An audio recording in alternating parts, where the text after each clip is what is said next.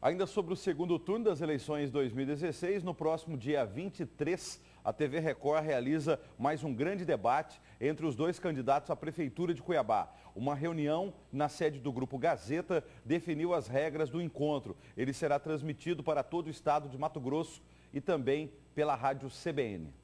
Emanuel Pinheiro e Wilson Santos já estiveram frente a frente em duas oportunidades nos debates do primeiro turno promovidos pela TV Record. Os candidatos também tiveram a oportunidade de participar de duas rodadas de entrevistas nos telejornais da Record, além da Rádio CBN Cuiabá, única emissora a acompanhar o dia do voto e a apuração ao vivo. Como obtiveram o maior número de votos, Emanuel e Wilson vão para o segundo turno no próximo dia 30. Uma semana antes do eleitor escolher o novo prefeito, Tucano e Entrevista vão discutir propostas no grande debate, marcado para o dia 23, um domingo, às 10 da noite, na TV Record. Nesta reunião, na sede da TV Record, os representantes das duas coligações conheceram as regras do debate. Na Rádio CBN, o encontro está marcado para o dia 18, uma terça-feira, às 8h30 da manhã. Na TV Record, além do debate com duas horas de duração, divididos em quatro blocos, os candidatos terão a oportunidade de participar de rodadas de entrevistas nos telejornais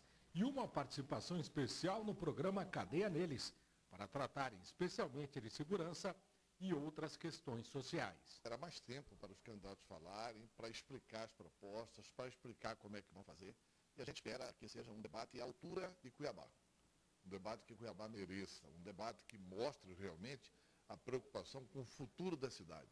Um debate que não fique preocupado com o retrovisor, com o passado, com essa coisa atrasada que existe, infelizmente, na política de Mato Grosso e do Brasil. É fundamental. Vocês viram que teve candidato que subiu 10 pontos depois dos debates. Eu acho que agora está tudo zerado, é uma nova eleição, e você aí de casa vai poder escolher quem é o melhor para cuidar de Cuiabá. O debate é o melhor instrumento para avaliação do eleitor onde você é, observa o candidato sem o marketing, sem a maquiagem, sem o preparo que é feito com o candidato nos programas eleitorais. Ali é frente a frente, olho no olho, e o eleitor tem todas as ferramentas é, possíveis e imagináveis para definir com consciência o seu voto. Eu acho que a Record vai dar essa contribuição mais uma vez.